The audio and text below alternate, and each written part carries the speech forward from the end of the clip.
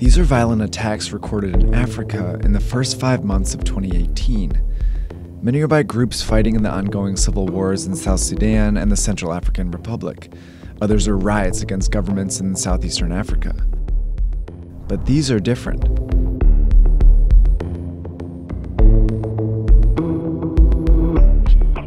They're attacks by Islamist militant groups.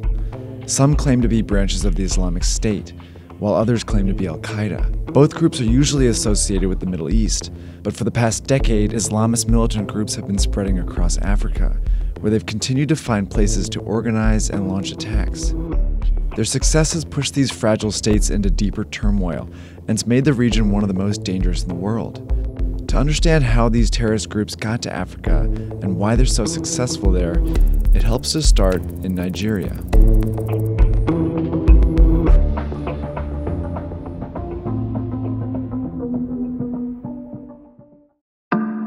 Nigeria has the biggest population and economy in Africa. Wealth industry and major cities are mostly in the south, while the north is poor, marginalized, isolated, and home to most of Nigeria's Muslim population. It was here that a radical Islamist group called Boko Haram took shape and turned violent in 2009. They started razing villages, slaughtered men and women, and kidnapped children who were forced to carry out suicide attacks.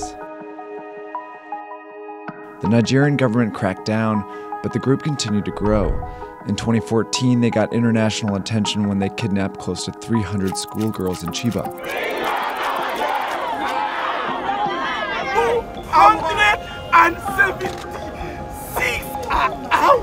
By then, they controlled a huge swath of territory in northern Nigeria, where they imposed strict Sharia law and declared it an Islamic caliphate.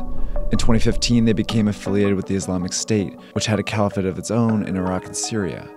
Within a few years, the group killed nearly 25,000 people and was on track to become the deadliest terror group in the world, eventually surpassing ISIS. Five African countries backed by the US, UK, and France formed a task force to battle Boko Haram. By April 2015, they'd liberated major towns and seemed to push Boko Haram out. But three years later, Boko Haram is still active. The group had shifted its focus to the Lake Chad region, one of the poorest places in the world.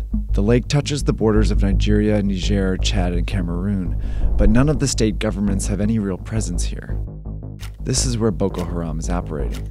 They've been raiding local villages for food and capturing men to serve as fighters. In 2016, the group split into two. As Boko Haram's attacks grew more and more violent, this group, the Islamic State West Africa, started offering protection to villages in danger. They also provided stability and even water supplies to a region collapsing under a food crisis in exchange for attacks and recruits. In the absence of a strong central government, they've moved further into Nigeria and Niger, where they've launched attacks of their own and are officially affiliated with the Islamic State. Exploiting and terrorizing locals in ungoverned areas has become a successful strategy, keeping these militant groups active, but it doesn't stop here. The strategy is being used by terrorists all across the continent. Lake Chad is part of the Sahel, a narrow band of territory that stretches across north central Africa. The conditions that make Lake Chad ideal for Boko Haram and ISWA extend across this whole region. The population is mostly Muslim and vulnerable. Ethnic conflicts are rampant, food is scarce, poverty is rife, and most importantly, there's almost no presence of a government. Islamist militant groups have been filling these spaces at a staggering pace. Seven years ago, Islamist militant groups took over northern Mali and declared it a caliphate for 10 months, before a French military intervention drove them back into the desert.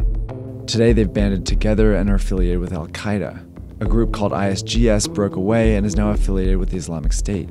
This part of Mali remains ungoverned and violent seven years after the intervention. Both of these groups are fighting for various militias in the conflict. Meanwhile, both are attacking foreigners, including the French embassy in 2018 and the 2017 ambush of the U.S. Special Forces in Niger.